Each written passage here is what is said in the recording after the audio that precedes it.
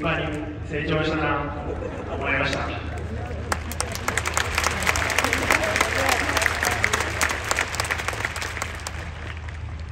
えー、私、井山公園は、えー、今シーズン合計10シーズン所属したファジアーノ岡山を退団することになりました、えー、初めてファジアーノ岡山に入団したのが2007年今から15年前です。当時ヴェルディからレンタル移籍で地域リーグに所属していたファジアーノ岡山に入団しました。当時は今の浅田サッカー場もなくいろいろな岡山市内倉敷や瀬戸内の練習場を転々として使っていました。ベルディで恵まれた環境しか知らず育ってきた自分にとってそれはとてもいい経験になりました。その当時も大変なことも多かったですが楽しみながらいろいろな経験をしていたと思い出します。それでも倉敷の中学校で大雪の中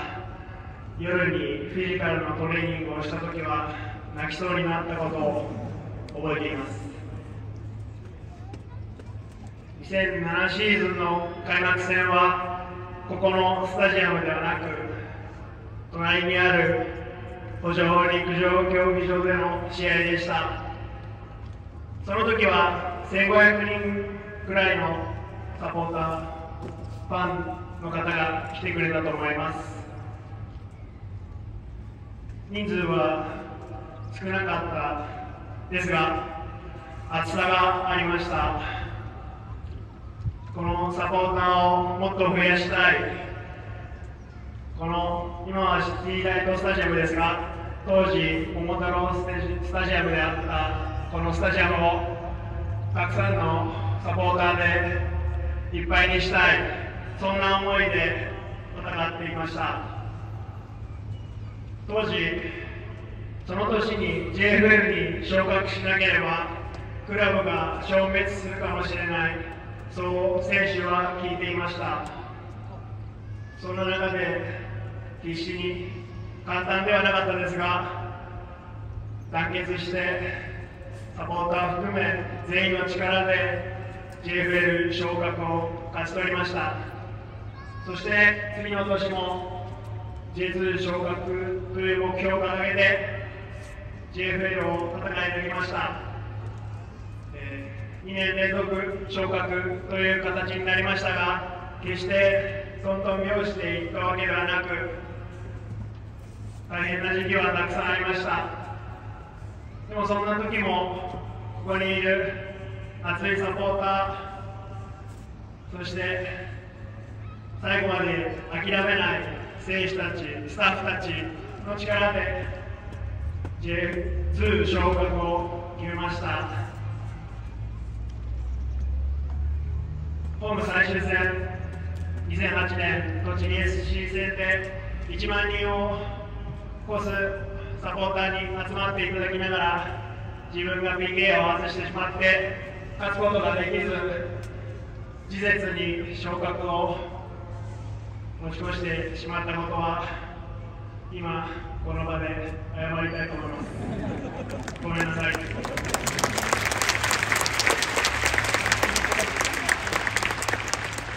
あの時昇格していれば岡山の飲食店はとても多かったんじゃないかと思います、えー、そこから J2 に昇格して2年バジアノでプレーして一度岡山を離れましたそして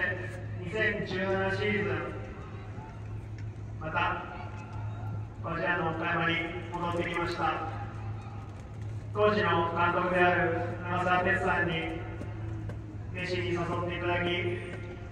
またこのスタジアムでこのクラブでそのサポーターと一緒に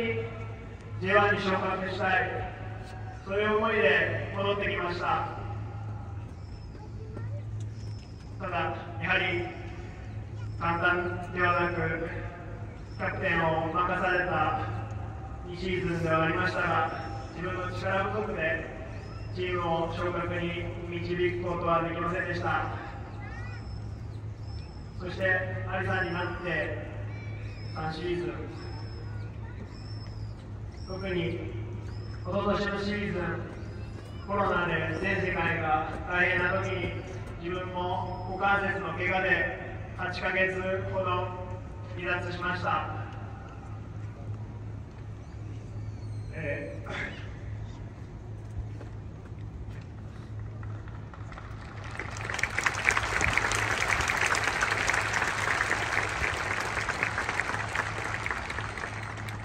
長くとても辛いリハビリだったと思い出します。復帰できそうでなかなかできない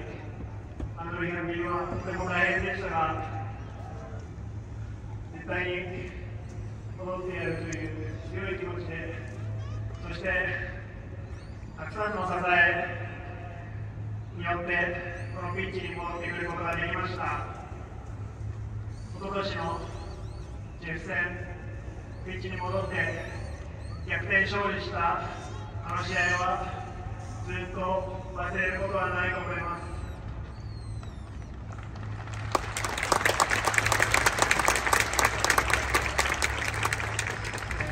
今年2週間ほど前ですが、来年の契約が満了ということを知らされました。自分にとっては2年前にもう見てもよかったとクビになってもおかしくなったと思ってるんでもう一回チャンスをくれたクラブにはとても感謝しています。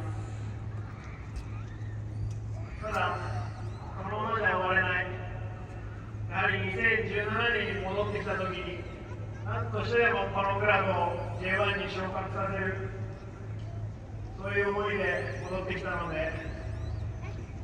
必ずみんなで昇格しなければと強く心に誓いました。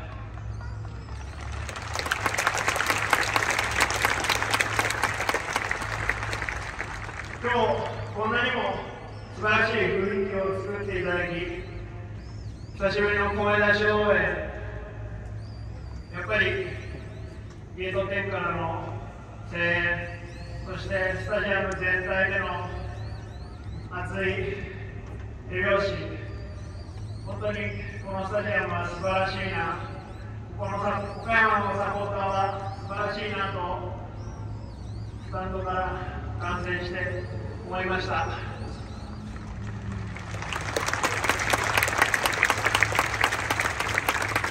本来ならこのピッチでその声援歓声を感じたかったですけど自分の力不足でピッチには立てず本当に不甲斐ないし悔しいです。ただ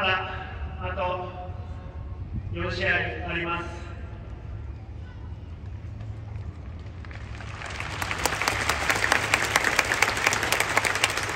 ここからが梶山の岡山の力の見せどころだと思います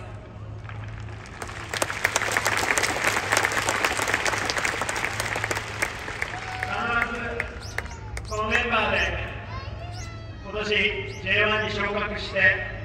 歴史を作りたい必ずここにいるサポーター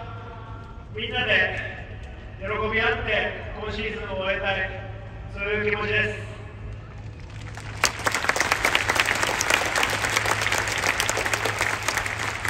ですからあと4試合力を貸してください。みんなの力で J1 に行きましょう